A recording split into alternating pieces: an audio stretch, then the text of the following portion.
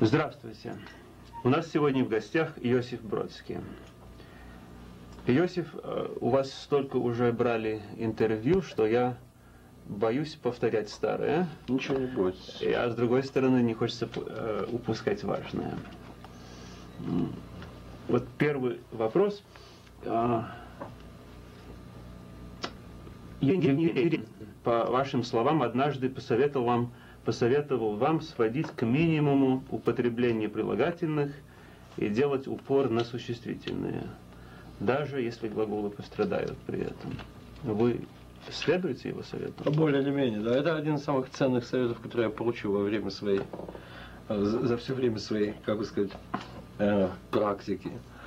Э, э, буквально, то есть я не помню его, то, что он сказал дословно, но идея была примерно следующая, что в стихотворении, в принципе, стихотворение должно состоять из существительных, прилагательные должны быть сведены до минимума. То есть, если вы, его идея была, что, значит, если, например, на стихотворение положить такую, как бы сказать, некую волшебную скатерть, которая э, убирает прилагательные, и потом снять эту скатерть. Стихотворение, э, когда скатерть убрана, все равно на бумаге осталось бы в достаточной степени черным. Mm. Да? Mm. Вот, то есть э, э, глагол еще э, э, туда-сюда, но прилагательных, в общем, должно быть э, как можно меньше. В предисловии... У этого человека я вообще э, научился массе вещей. Почти всему, по крайней мере, в начальной стадии. Э, в начальной стадии, там, скажем, э, знакомство с ним э, оказало чрезвычайно положительное, на мой взгляд, воздействие на, ну, скажем, на все то, что я сочинял об ту пору. Это единственный человек, с чьим мнением я, в общем, более или менее на земле, грубо говоря, считаюсь. В настоящее время заочно. Но, в общем, чье мнение для меня ценно. Это действительно, если у меня был когда-нибудь такой действительно практический метр, это он. А в предисловии к прозе Цветаева вы пишете, что мышление любого литератора иерархично. В чем ваша поэтическая иерархия? Э, ну, прежде всего, э, прежде всего речь идет, безусловно, о, э, о ценностях. И, то есть не столько о ценностях, сколько иерархичность мышления. То есть я, я, не имел, я не имел ничего особенного, просто дело в том, что просто у каждого писателя, прежде всего, ну, начать хотя бы с того, что, скажем, каждый литератор более или менее в течение своей жизни все время меняет оценки, то есть он меняет, э, э, там, скажем, э, как бы табель о рангах, то есть кто лучше, кто хуже. В общем, всегда существует некая, некая колонка авторов, там, скажем, тот-то, тот-то, тот-то, и, значит, кто-то наверху, кто-то внизу, кто-то, и время от времени они меняются. поэты да, наверху да. и Но это само собой, внизу. Да. Это, это безусловно. Но, но, но то, что, что я имел в виду, на самом деле, относится к, э, там, скажем, к авторам, э, к тем, кого ты ценишь, кого ты любишь и так далее, кто тебе дороже или важнее, или ближе. Э, в последнюю очередь, в первую очередь это относится к, э, к определенной шкале ценностей, да, то есть и шкала ценностей действительно вертикальная шкала, да, то есть в общем, в общем, э, как мне представляется, э, там, скажем, литератор, он всегда, или по крайней мере, по крайней мере, я, э, я единственный могу о ком говорить, наверное, о себе только. Э, он все время, как бы сказать, он выстраивает, то есть эту шкалу по следующему, то есть, скажем, то явление или тот автор важнее для него, чем, скажем, другой или другое явление, просто потому что тот автор вбирает в себя эти, там, скажем, предыдущих. Вот, э, предыдущих, или там, скажем, эта идея вбирает в себя, но она э, еще, значит, э, предлагает еще какие-то остальные, следующие идеи. Не говоря, да вообще, сознание любого человека иерархично, там, скажем, всякий, кто воспитан более или менее эм, ну что ли, в лоне э, какой бы то ни было идеологии или каких бы то ни было принципов, он всегда выстраивает какую-то лестницу. Наверху, в конце концов, либо государь, либо Бог, либо э, и так далее, и так далее, и так далее. И, в общем, человек э, в своем э, ежедневном поведении, он более или к вещам или э, в своей профессии, он все время выстраивает для себя некую иерархию. То есть, э, либо это начальник, либо это идея, которая начальник. А темы тоже? Э, темы нет. Ну, темы нет, нет, безусловно, нет, нет. А в том же предисловии вы пишете, я цитирую, «Э, в конечном счете каждый литератор стремится к одному и тому же – настигнуть или удержать утраченное или текущее время. Ну, более или менее, да. Ну, прямо из Пруста. Безусловно. Ну, я не знаю, это верно Да, в да, это всех фраза, да, писателей, да. но что касается вас, это так. И чем вы это точно. объясняете? Дело в том, что э, меня действительно э, самое, э, то есть то, что меня более всего интересует, и всегда интересовало, по-моему, на свете, хотя, в общем, к- раньше я не отдавал себе полностью в этом отчеты, теперь я более или менее э, отношусь, скажем, в достаточной степени сознательно. Меня просто интересует более всего время и тот эффект, э, и, или э, то, как оно, то есть что оно делает с человеком, как оно его меняет, как оно его обтачивает, да. То есть э, это просто такое э, практическое время в его длительности, то есть э, время жизни, да. Это с одной стороны, но это всего лишь если угодно, э, то, что происходит с человеком во время жизни, то, то есть то, что время делает с человеком, то есть как оно его э, как бы сказать, трансформирует, это всего лишь метафора того, что вообще время делает с пространством, э, того, что время делает с миром. Вот. Но это несколько э, э, обширная идея, в общем, э, которой лучше не касаться, потому что это заведет нас э, в дебри. Но, э, скажем, из двух категорий. Вообще считается, что литература, э, она, как бы сказать, о жизни, что там, скажем, э, писатель пишет о других людях и так далее, и так далее. Ну, о том, что человек дел- э, делает с другим человеком и так далее. На самом деле это все совсем неправильно, потому что на самом деле литература не о жизни, потому что и жизнь не о жизни. Жизнь о э, двух категориях, то есть более-менее о двух. Вот, о пространстве и о времени. Из этих двух ну, например, Кавка. Это человек исключительно, который занимался пространством, его эффектом далее. И, например, Пруст, то есть, который занимался, если угодно, клаустрофобической версией времени. Но, но это, в общем, некоторым роде натяжка, тут можно было бы даже высказаться и поточнее. А, Но, во всяком случае, э, время для меня куда более интересная, я бы даже сказал, захватывающая категория, нежели э, пространство. Вот, собственно, все. Опять возвращаюсь к предисловию этому. Опять цитирую. Изоляция ее, изоляция не предумышленная, но вынужденная, навязанная извне. Логика языка, историческими обстоятельствами, качеством современников.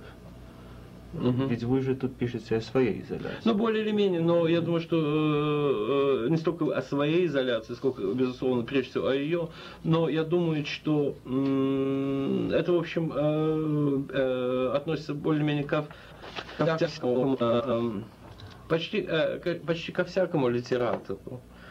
Э, Безусловно, да, безусловно, в известной степени, я пишу- э, известной степени я пишу о своей. Ну, собственно, э, и, единственное, что, единственное, может быть, э, э, и единственное, что у нас общего, что, э, я бы сказал, у меня есть общего с Цветаевой, это какие-то элементы биографии. Мгм. Э, А именно? Ну, господи, пребывание на протяжении какого-то количества лет вне э, Отечества и так далее. Мгм. А, Это вообще, то есть, ну, я, я не- ну, бессмысленно говорить о том, какой поэт цвета. Вот, э, это самое грандиозное явление, которое э, вообще русская поэзия знала, на мой взгляд. Э, и, и, там, скажем, э, э, э, факт тот, что там, скажем, у нас, по крайней мере, это деталь общая. Мгм. Вот, э, э, почти оправдывает мое существование вообще. Вы чувствуете какой-нибудь э, разрыв с аудиторией? А, Вы знаете, а, контакта, в общем, с аудиторией, как правило, вообще никогда не существует. Или то, что воспринимается как контакт, это, в общем, э, э, категория или ощущение в достаточной степени фиктивное, даже когда непосредственный контакт имеет место быть. Потому что, ну, господи, э, потому что вообще, как правило, люди слушают всегда или читают, или вычитывают в том, что вы сочиняете нечто исключительно свое. То есть контактом с аудиторией это не назовешь, потому что, в общем, поведение отношения людей к произведениям литературы или, там, скажем, к факту присутствия писателя, там, скажем, на сцене, допустим, да, или там на кафедре, оно всегда в достаточной степени десинкратично, то есть, э, то есть человек воспринимает каждый, то есть каждый человек воспринимает э, э, то, что он видит сквозь свою абсолютно уникальную призму.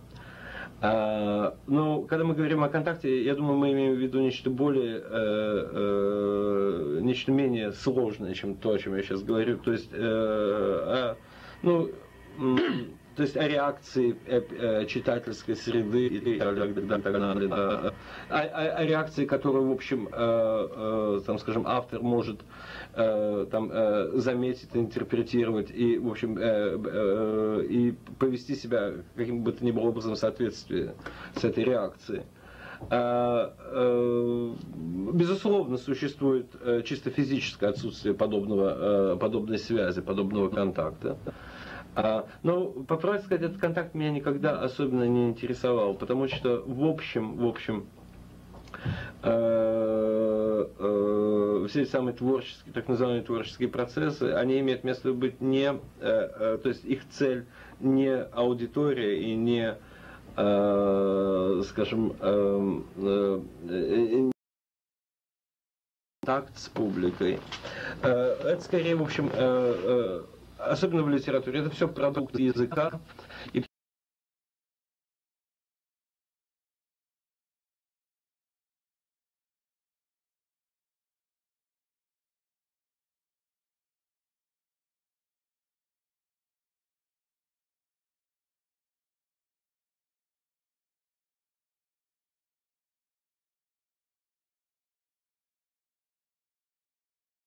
Общем, реакция неадекватная, и считаться с ней, или, там, скажем, горевать по поводу ее отсутствия, я думаю, в общем, достаточно степени бессмысленно.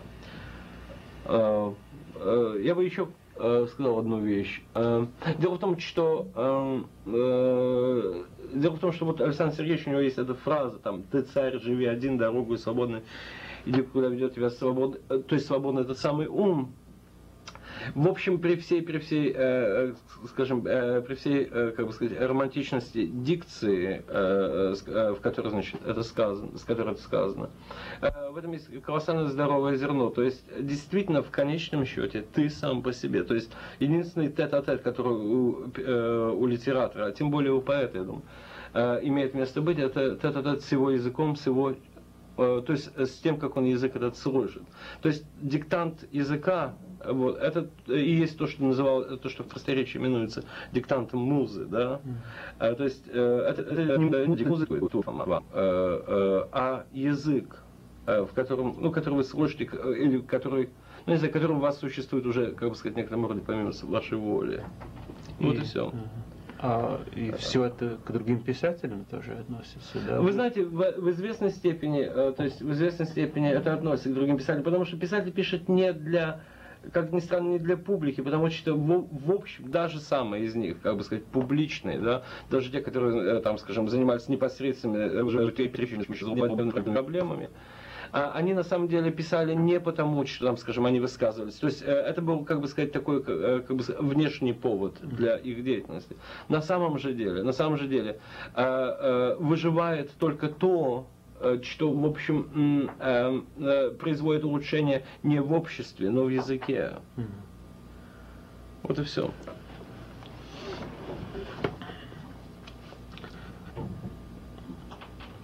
Вот Роберт Сильвестр э, э, о вас написал.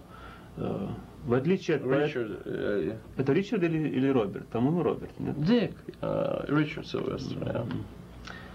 В отличие от поэтов старшего поколения, созревших в то время, когда в России процветала высокая поэтическая культура, Бродский, родившийся в 1940 году, рос в тот же период, когда русская поэзия находилась в состоянии хронического упадка, и вследствие этого вынужден был прокладывать свой собственный путь. Тут два утверждения. Во-первых, упадок, угу. и второе, то, что вы проложили свой собственный путь. Ну, это каждый поэт это делает, но как вы ну, что касается, смотрите на, на оба утверждения? Что касается упадка, то, э, ну, в общем, более или менее, это правда, потому что, то есть не то, что упадок, то есть в течение 40-х, 50-х годов э, об изящной словесности всерьез говорить в России не приходилось. То есть, разумеется, существовали какие-то люди, которые там, скажем, продолжали, занимались mm-hmm. стихосложением. То есть, э, были замечательные поэты. Была жива Ахматова, был жив Пастернак. Но там, скажем, э, до молодых людей вроде меня это совершенно никак не доходило. То есть, мы совершенно не, э, не были осведомлены о их существовании. Я не был.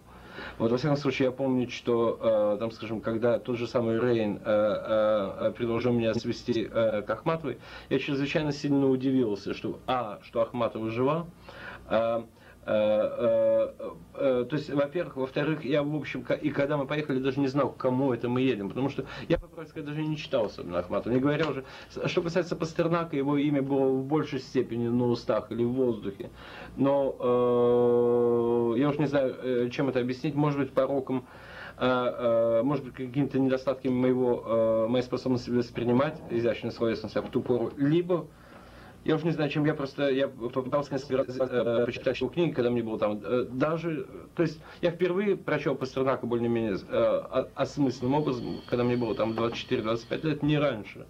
То есть до тех пор я ничего этого, э, то есть это было совершенно ни с какой стороны не...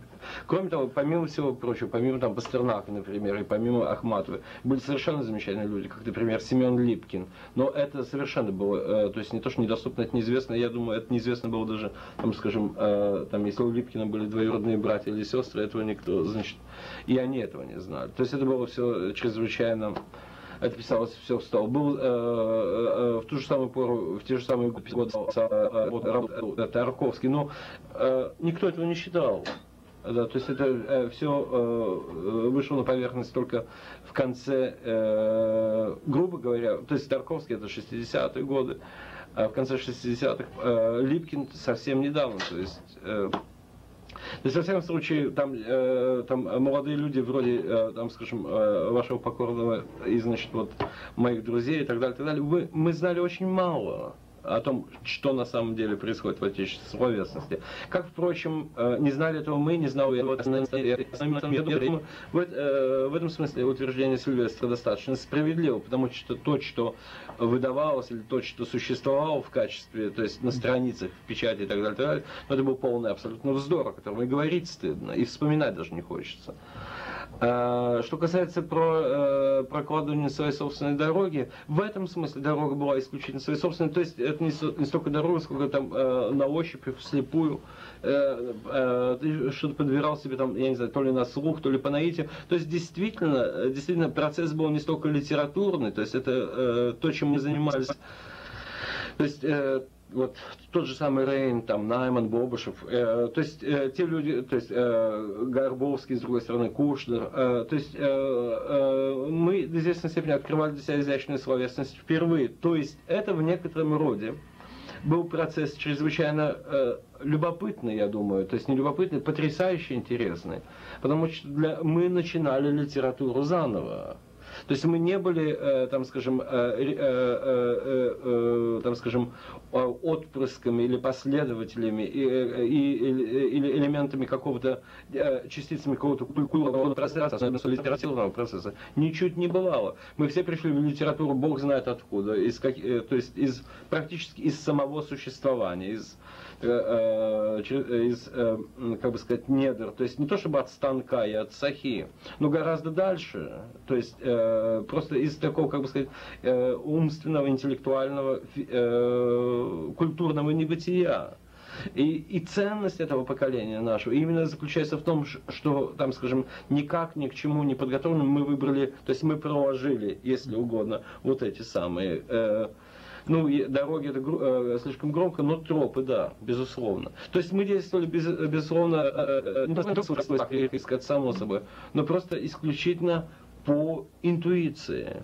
И что замечательно, что человеческая интуиция, она приводит именно к этим результатам, да, которые в конце концов, в общем, не так-то, э, э, не так уж разительно и отличаются от того, что производит, э, произвела предыдущая культура, не распавшаяся, созданная, то есть возникшая в результате все-таки еще не распавшейся цепи времен, да, то есть это замечательно. То есть это э, в некотором роде свидетельство о э, определенном векторе человеческого духа. Это может быть э, отчасти связано с тем, что вы сами беспокоились о своем образовании. Ведь, ведь вы же ну, я, ушли да. из школы после восьмого да. класса. Да, но это опять-таки, э, э, вы знаете, это, там, скажем, это сейчас, там, скажем, оглядываясь назад, я могу сказать что-нибудь в этом роде. Но в тот момент, когда, там, скажем, я уходил в школу, когда, там, скажем, мои друзья бросали свои, там, скажем, должности, там, скажем, бросали свои дипломы и так далее, так далее, переключались на изящную словесность. Это, в, в, в это время нам не казалось, что мы делаем... Э, то есть мы действовали, в общем, более или менее по интуиции, по какому-то, в общем, если угодно, инстинкту. Mm-hmm. В этом не было. То есть, разумеется, мы там читали кого-то, то есть мы довольно много читали. Но, это, э, но никакой преемственности в том, чем мы занимались, не было. Ощущение, что мы продолжаем некую традицию и так далее, и так далее. То есть, что у нас какие-то воспитатели, там, духовные и так далее. Этого ничего не было. Мы действительно были, э, если не пасынками, то э, сиротами в некотором роде. Вот. И вот замечательно, что э, э, э, э когда сирота вдруг запевает голосом отца. И это потрясающе, по-моему. И это самое замечательное в нашем поколении. То, что, например, происходит сегодня, это, то есть кни, все эти книги, все эти, э, там, э, все, эти, э, все сочинения, там, я не знаю, Мандель, э, Мандельштама, и так далее, и так далее, мы это доставали э, с невероятным трудом, если доставали. Я, например, не помню, чтобы... Я просто э, прочел Мандельштама примерно тогда же, когда мне было 23 года, да, то есть э, стихи я начал писать более или менее, ну не то чтобы сознательно, но когда мне было лет 18, 19, 20. Более того, когда э, ты находишь там кого-нибудь э, вроде Мандельштама или Цветаева или Ахматовой э, э, в 23-24 года, она начала ты, ты, особенно их воспринимаешь как э, э, то есть как влияние, да, ты, ты просто э, воспринимаешь их прежде всего, ну, чисто с археологической точки зрения, да.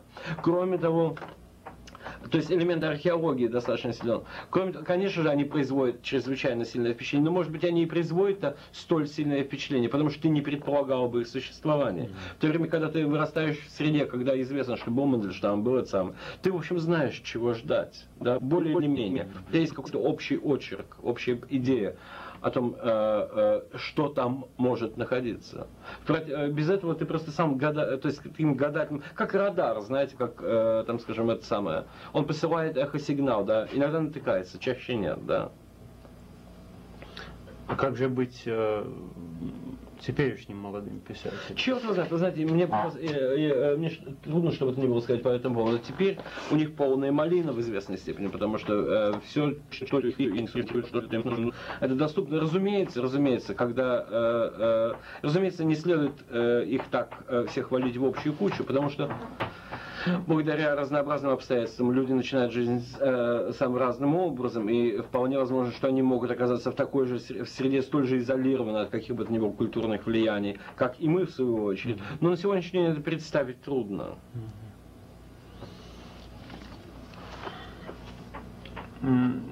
Когда вы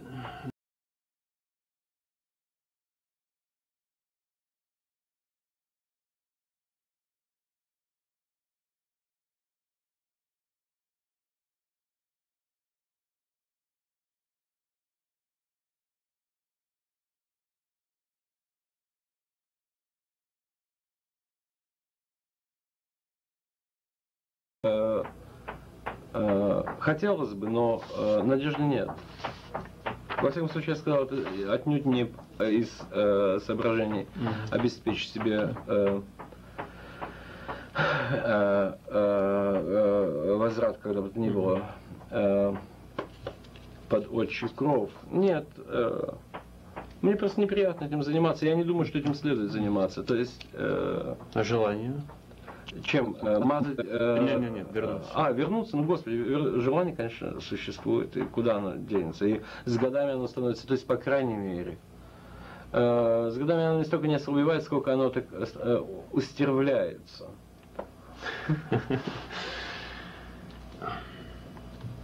А вы русский поэт, но американский эссеист. Не создает ли это какого-нибудь раздвоения личности? И не идет ли ваша русскость постоянно на убыль? Вы знаете, я не знаю, это не мне судить. Э, что касается меня, то есть внутри самого себя, у меня никакого, то есть внутри моего сознания, внутри, я не знаю. Э, я чувствую себя достаточно естественным образом. Я думаю, что это вообще идеальная, э, идеальная ситуация быть русским поэтом и американским эссеистом. Вот, вся история заключается в том, что хватает ли у вас а души, б извилин Э, э, на, э, на оба мероприятия, то есть оба проекта. Иногда мне кажется, что хватает, иногда мне кажется, что нет. Иногда мне кажется, что они начинают, то есть, что одно мешает другому.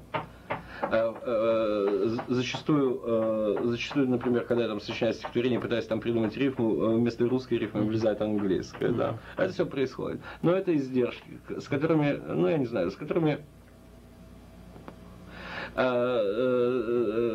которые всегда, в общем, в достаточной степени у этого производства велики. И, в общем, какую форму эти издержки принимают, это совершенно уже безразлично. То есть, я не знаю, может быть, э, моя русскость идет на убыль. Но если она может пойти, э, пойти на убыль, то, то, э, то это значит красная цена. Это свидетельствует о ее качестве. Думаю, что в общем нет. Хотя, может быть и да, я не знаю. Не знаю, э, по крайней мере, э, э, стихи мне до сих пор по-русски писать хочется. Я до сих пор этим занимаюсь. То, что я делаю, мне нравится. И это, то есть, часто нравится. Но вот и это в конечном счете э, э, то, что меня более всего интересует. Меня, в общем, как правило, интересует процесс, а не его, значит, там последствия. Что касается, пошла ли, уж, пошла ли русскость моя на убыль или э, там наоборот, значит, э, э, концентрировалась в сильной степени, это уже судить не мне. Хотя, я думаю, что просто не следует сужать понятие, то есть э, следовало бы прежде для начала определить э, понятие русскость, вот, потому что в общем я думаю, что э, э, с этим связано некоторое сужение возможностей э, э, национального, русского национального сознания, то есть некоторая его типизация и эм, я думаю, что русский это гораздо более обширное явление, нежели там, скажем, э, э, я думаю, что э, если что-нибудь происходит в моем случае, то это в некотором роде, если угодно, может быть, я лещу себе, это расширение русскости, а не ее сужение или ее потеря. В статье «Английский Бродский» Алексей Лосев пишет, писателем можно быть только на одном одноправном языке предопределено просто-напросто географией. Даже с малолетства в совершенстве, владея двумя или более языками, всегда лишь один мир твой, лишь одним лингвокультурным комплексом ты можешь сознательно управлять. А все остальные посторонние, каких не изучай, жизни не хватит, хлопот и ляпсусов не оберешься. Вы это, утверждение, это утверждение вздорное. То есть не вздорное, а чрезвычайно, как бы сказать,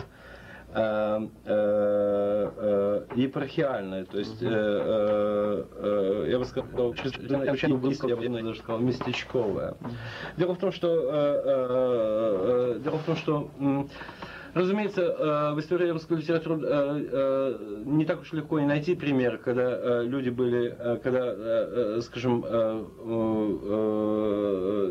там, скажем, писатель был литератором в двух культурах, то есть двух языках и так далее, и так далее. Но двуязычие это норма, это, это, это в общем вполне, вполне реальная норма. Пушкин в конце концов. Пушкин но писал стихи. Не стал стих... известен как французский поэт. Совершенно, он не стал известен как французский поэт, но как автор писем. Он, он был ничуть не хуже, там, скажем, э, э, своих французских э, современников. Более того, Пушкин, Тургенев и так далее. Так далее. Два языка это норма, это просто, просто дело в том, что силой самых разнообразных, не нами придуманных обстоятельств. Мы оказались в позиции, в той ситуации, когда нам ничего не остается другого, как кроме настаивать на, э, как бы сказать, э, нашей, э, то есть когда человеку ничего другого не остается, кроме как настаивать на его, как бы сказать, э, этнической уникальности. Это для э, человеческого вида, для рода, для человека, просто как э, организма, это, э, в этом есть нечто оскорбительное. Дело в том, что, э, э, грубо говоря, у, у человека, у, у человеческого сознания существуют огромные, э, там огром, существуют огромные потенциальные возможности развития и э, и э, с моей точки зрения просто э, э, оперировать двумя языками в двух культурах и так далее, и так далее, в этом нет ничего сверхъестественного. Это вполне возможно, может стать нормой. Возьмите европейцев, да, возьмите всех этих самых, я не знаю, там, э, возьмите голландцев, возьмите э, немцев, возьмите англичан. Для них, в общем, э, там, скажем, существование э, там, э, то есть э, двух или трех языков, то есть я знаю массу людей, которые в состоянии написать ту же, то же самое стихи, это труднее, вполне возможно, да. А, но э, там возьмите Беккета, да. Вот когда, когда просто э, возьмите Джойса, э, кого угодно. Почему русские хуже? Mm-hmm.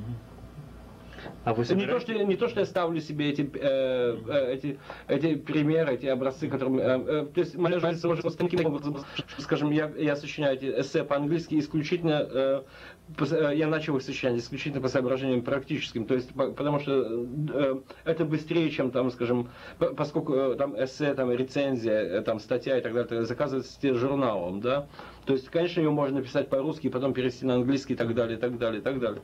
Вот. Но это занимает гораздо больше времени журналу, как правило, ограничено каким-то э, каким определенными сроками и поспеть к этим э, э, срокам. То есть гораздо больше вероятности, если ты просто пишешь уже по-английски. Да? И это единственное соображение, по которому я этим занялся. То есть то, что я, там, скажем, русский поэт, и, то есть я пишу стихи по-русски, эссе по-английски это, то есть для меня это абсолютно естественно. То есть это две пишущие машинки. А а вы хотите в конечном итоге стать двуязычным поэтом именно? Вы знаете, нет. Этой амбиции у меня совершенно нет. Хотя я, в общем, вполне в состоянии сочинять вполне приличные, даже, в общем, весьма толковые стихи по-английски. Но, но э, когда вы сочиняете стихи по-английски, ну, для меня, по крайней мере, это скорее, как, э, скорее, в общем, такая, как бы сказать, игра, да, то есть э, шахматы, если угодно, там, складывание кубиков и так далее, и так далее. То есть, хотя, в общем, я очень часто ловлю себя на том, что, там, скажем, процессы психологические физически, эмоционально, э, акустически идентичны тому, что там э, идентичны тем, которые там, скажем, э, которые сопряжены сочинением э, э, стихов по-русски, э, э, э, начинают иметь место, когда я там, скажем, а, тот же самый механизм движения, механизм приходит движение, когда я иногда сочиняю стихи по-английски. Mm-hmm. Вот, но амбиций у меня таких нет. Я не собираюсь становиться ни Набоковым, ни там, я не знаю, mm-hmm. ни Джозефом Конрадом, ни я уже не знаю кем. Это, этих амбиций у меня решительно напрочь нет. Mm-hmm. Хотя я вполне представляю себе возможность, и просто у меня ни времени, ни, ни энергии нет а, на это не нарциссизма, но я вполне представляю себе, э, что кто-нибудь на моем месте вполне мог бы э, осуществить, то есть вполне мог бы быть и тем, и другим. То есть мог бы писать стихи и по-русски, и по-английски. Более того, я думаю, что это и произойдет в конечном счете. Там, э, то есть,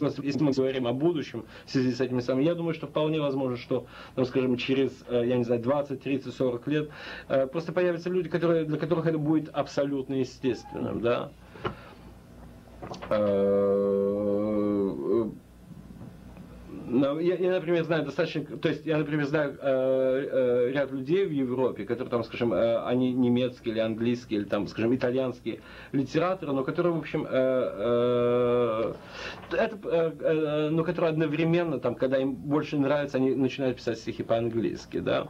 Разумеется, это сопряжено с тем, э, с, э, с некоторой редукцией политической техники э, по-английски. То есть это чрезвычайно, то есть особенно если речь идет о Верлибре, возьмите того же самого Айги, я совершенно не понимаю, почему он пишет по-русски. То есть он может писать по-немецки, то есть я не знаю, на суахили. Это э, там это ни с какой дисциплиной не связано, то есть речь идет исключительно о, о, о, о то, что называется по-английски perception, о восприятиях, о, Эм, о каких-то определенных ощущениях, и эти ощущения, в общем, более-менее, э, если речь, если вы воспринимаете изящную словесность как передачу каких-то определенных ощущений в определенной э, э, сюжетной последовательности, пожалуйста, это можно сделать. Другое дело стихи, там, скажем, как я их понимаю, то есть э, восстановление гармонии, просодии и так далее, и так далее.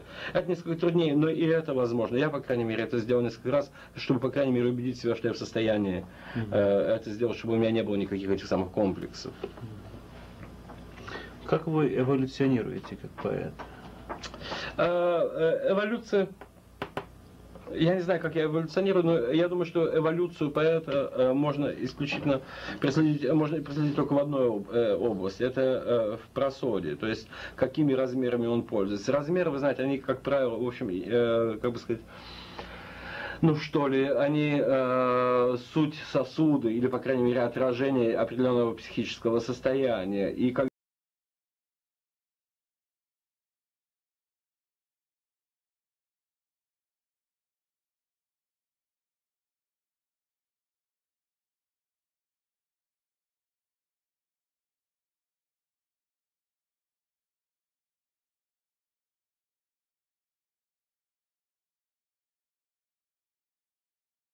я пользовался метрами размерами более точными, более точными метрами, то есть пятистопным ямбом и так далее, так далее. То есть когда все, значит, более-менее в порядке, что свидетельствует о некоторой иллюзии или о способности, если угодно, или о желании э, подчинить, там, скажем, вещи, явления, свою речь, по крайней мере, определенному контролю. На сегодняшний день, я думаю, в том, что я сочиняю гораздо больший процент дольника, интонационного стиха.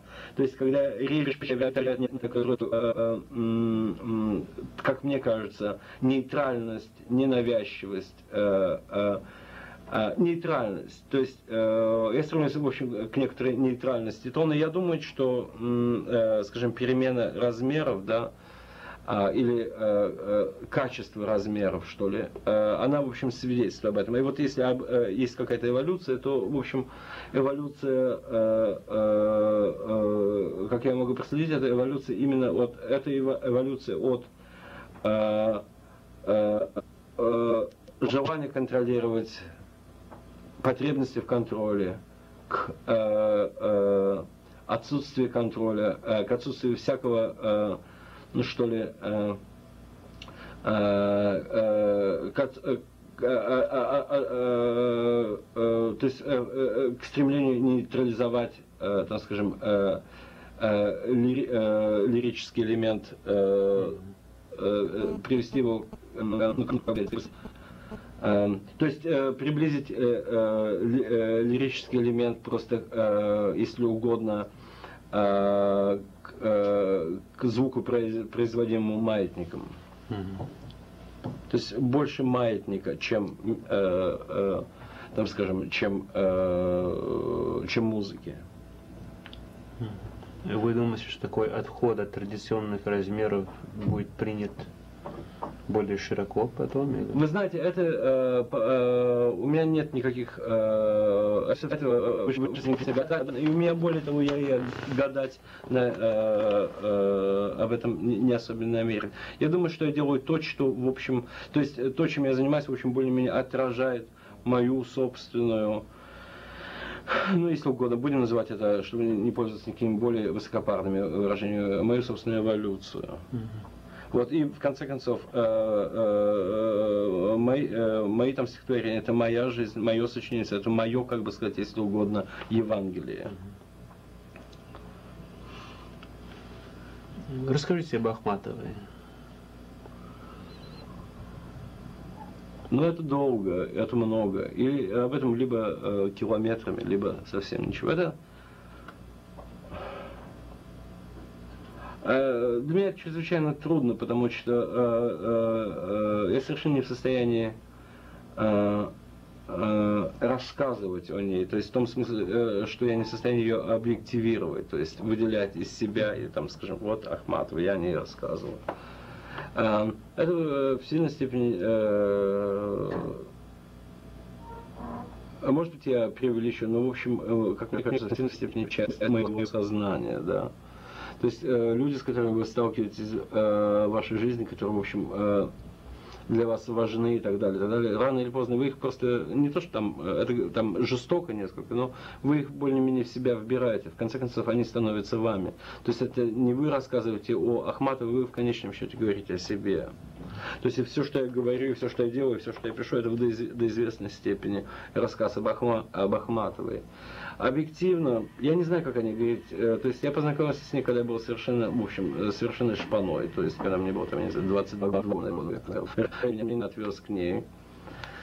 Э, я увидел, то есть глаза мои предстало зрелище совершенно незнакомое, то есть совершенно ясно, что абсолютно другого качества. То есть люди, с которыми мне приходилось иметь дело, находились просто в другой категории, нежели она.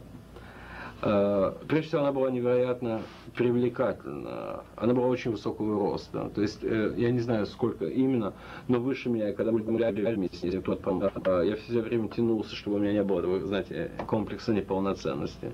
Чтобы просто быть, по крайней мере, одного роста с ней.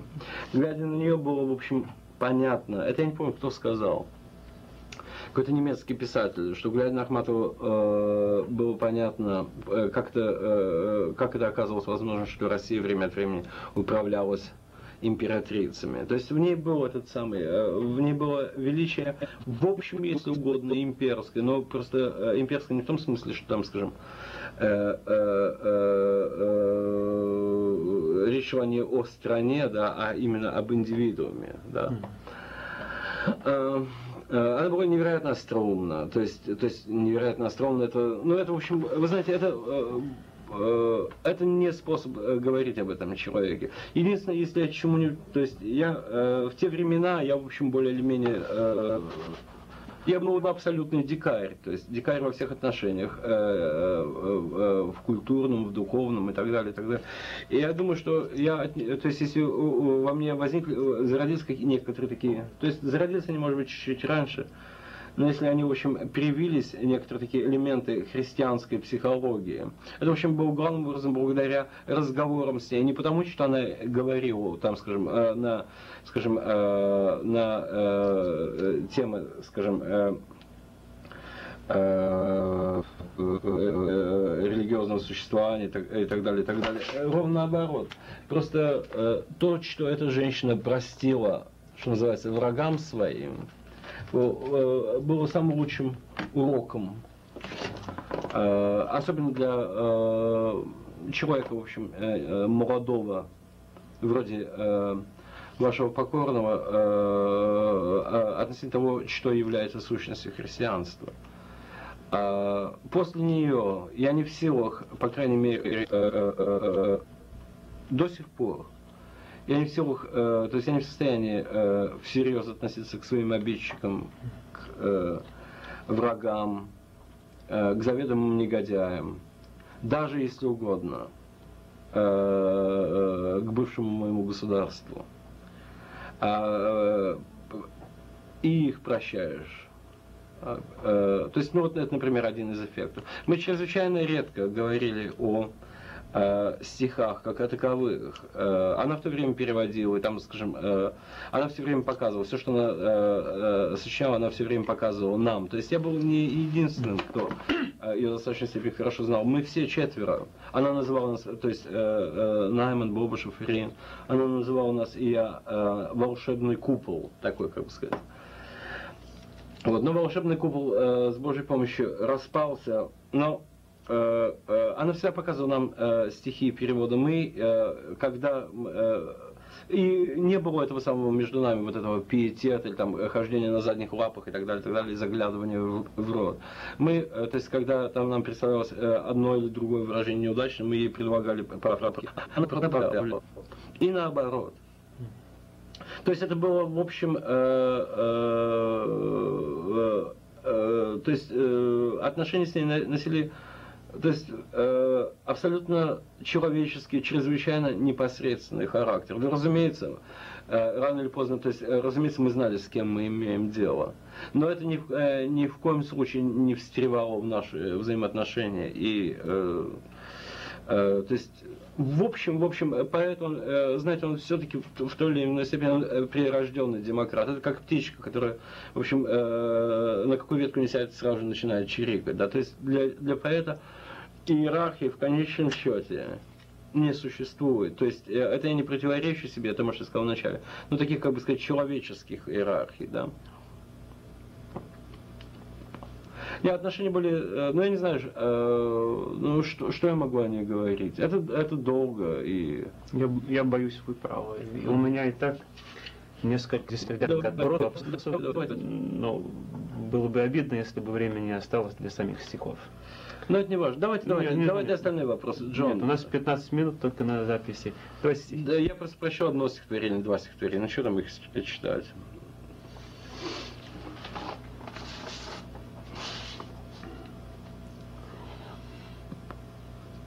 о вашем суде не хотите поговорить? Ну, это бессмысленно, это был, э, был определенный зоопарк, mm-hmm. да. Ну, когда речь заходит о ваших стихах, часто говорится о влиянии Джона Дона. Ну, это чушь. Это, это чушь. чушь. То, то есть, Вы же сами писали об этом. Да, нет, ну я, я, я написал стихотворение большое Дону, и э, разумеется, разумеется, э, то есть, э, э, э, э разумеется, э, я, я, я, я прочел его впервые, то есть я начал еще, когда мне было год 24-25. И, разумеется, это на меня произвело сильное впечатление, но ничуть не менее сильное, чем Мандельштам, и ничуть не менее сильное, чем Цветаева. То есть э, э, речь, э, говорить о влиянии, это, как бы сказать, э, ну, скажем, оскорблять того, о чем влияние, то есть в моем случае, э, э, э, то есть говорить о том, что Джон Дон на меня повлиял, разумеется, он на меня повлиял, но кто я такой, чтобы на меня Джон Дон влиял? То есть в стихах это незаметно, то есть я думаю, не особенно заметно. Единственное, чему я у Дона научился более, чем у кого бы то ни было другого, это строфики, то есть, то есть Дон, как вообще большинство английских поэтов, они всегда особенно елизаветинцы, то есть э, ренессанс, то, что называется по-русски, э, они э, были чрезвычайно изобретательны в смысле строфики. Э, э, к тому времени, когда я начал заниматься сложением, в общем, эта э, идея строфы и так далее, так далее, она, в общем, более или менее начисто отсутствовала. То есть, ну, исключительно потому, что культурная преемственность отсутствовала, да. А, и поэтому я, я этим чрезвычайно заинтересовался. Ну, что касается, и это, я думаю, скорее, влияние скорее формальное, если угодно, э, влияние организации стихотворения, в организации стихотворения, отнюдь не в ее содержании. Дон куда более глубокое существо, нежели я. Я никогда бы не смог э, быть настоятельным ни в Святом Павле, ни, я уже не знаю, э, ни в Святом Петре, ни, ни уже. Э, то есть это куда более глубоко и сильно чувствующий э, э, э господин.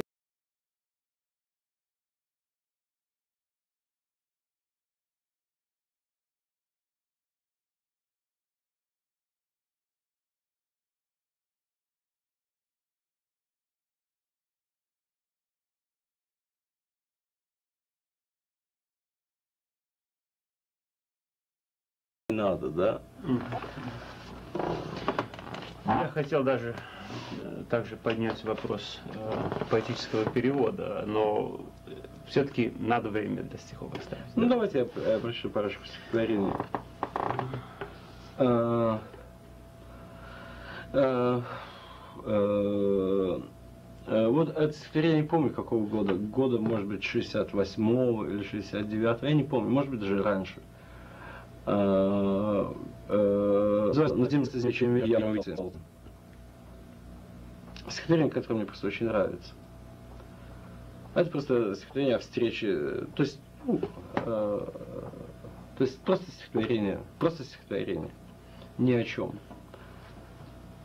Сухое левантинское лицо, упрятанное оспинками в бачке, когда он ищет сигарету в пачке на безымянном, тусклое кольцо внезапно преломляет 200 ватт, и мой хрусталик вспышки не выносит.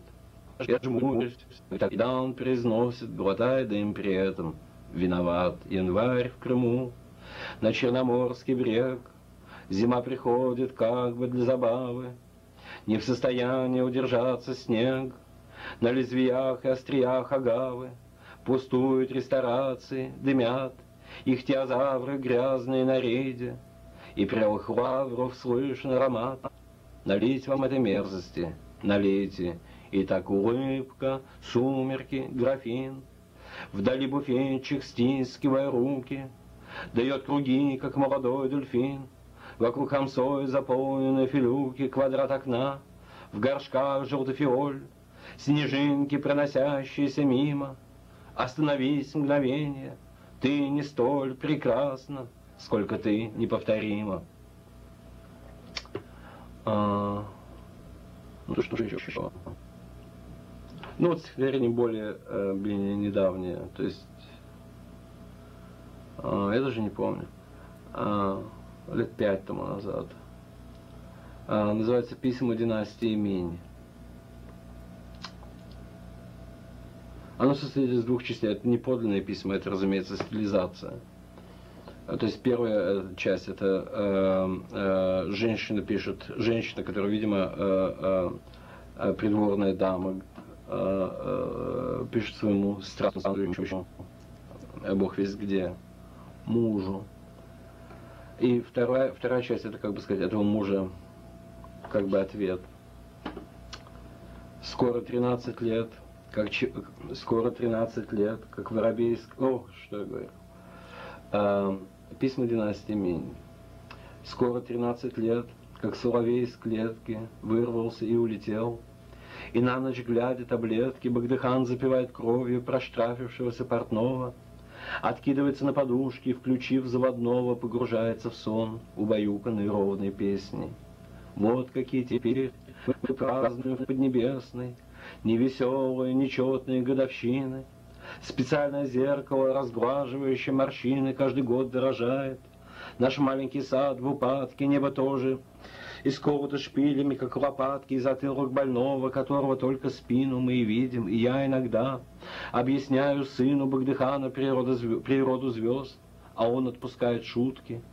Это письмо от твоей, возлюбленной, дикой утки, писано тушью, на рисовой тонкой бумаге, что дала мне императрица. Почему-то в последнее время вокруг все больше бумаги, все меньше меньше средства. Дорога в тысячу ли, начинается с одного шага, гласит пословица. Жалко, что от него не зависит дорога обратно, превосходящая многократно тысячу ли, особенно отсчитывая от О. Одна ли тысячи ли, две ли тысячи ли, тысяча означает, что ты сейчас вдали от родимого крова, и зараза бессмысленности со слова перекидывается на цифры, особенно на нули. Ветер несет нас на запад, как бурые семена, из лопнувшего стручка, туда, где стоит стена. На фоне ее человек уродлив и страшен, как иероглиф, как любые другие неразборчивые письмена, движение в одну сторону превращает меня в нечто вытянутое, как голова коня, силу жившие в теле, ушли на трение тени, а сухие колосья дикого ячменя. Ну, этого, я думаю, достаточно. Не согласен. Ну, давайте я вам еще одну. Я не очень хорошо помню просто. Сейчас я найду.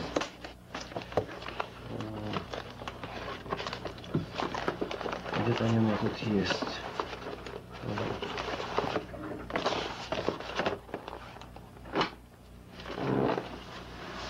Ничего, ничего.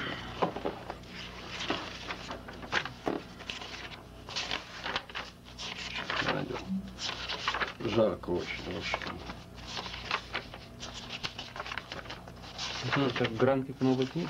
Нет, это э, э, просто э, э, это просто из альманаха, перепечатка стихотворения, несколько стихотворений из альманаха.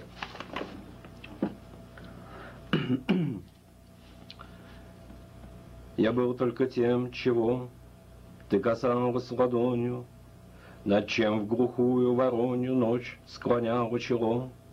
Я был лишь тем, что ты там внизу различала, Смутный облик сначала, много позже, чем ты.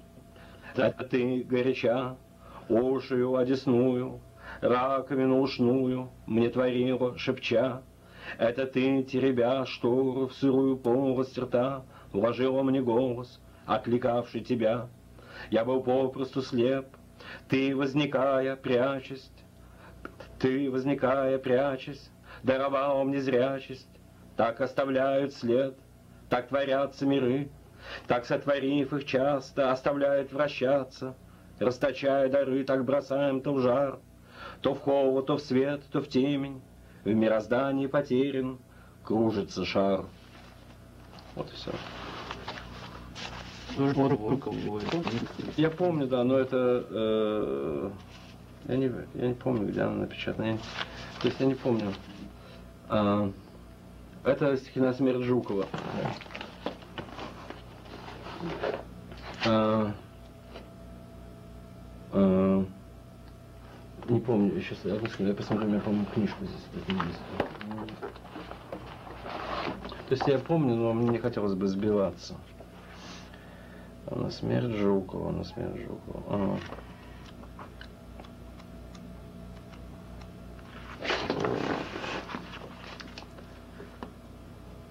Вижу колонны замерших внуков, Гроб на лафете, лошади круг. Ветер сюда не доносит мне звуков Русских военных плачущих труб. Вижу в регале убранный труп, Смерть уезжает, пламенный Жуков — Воин пред коем многие пальцы стены вражьих тупей, Блеском маневра огневали, напоминавший среди волжских степей, Кончивший дни свои глухо в опале, как Велизарий или Помпей. Сколько он пролил крови солдатской в землю чужую, что ж, горевал, Вспомнил ли их, умирающий в штатской белой кровати, полный провал — что он ответит, встретившись в адской области с ними? Я воевал. Камову, Жуков десницы больше уже не приложит в бою. Спи, у истории русской страницы Хватит для тех, кто в пехотном строю Смело входили в чужие столицы, Но возвращались в страхе в свою маршал поглотит алчное лето, эти слова и типа все же прими их, жалко лепта, родину спасшему вслух говоря, бей барабан и военная флейта, громко свисти на манер снегиря. Еще одно последнее. А, еще одно последнее. Еще одно последнее.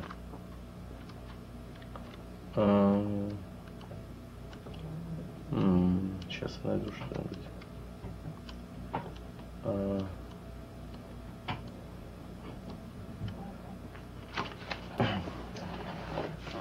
А, почти элегия.